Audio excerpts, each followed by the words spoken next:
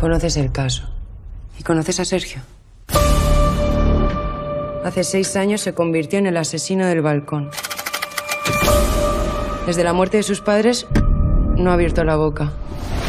Ni en el juicio, ni con sus educadores, ni con nadie. Es posible que seas la única persona con la que pueda abrirse.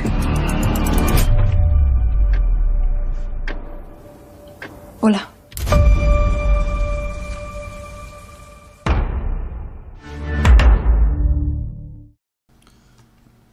Si te ha gustado este vídeo, dale like aquí abajo, suscríbete, dale like aquí abajo.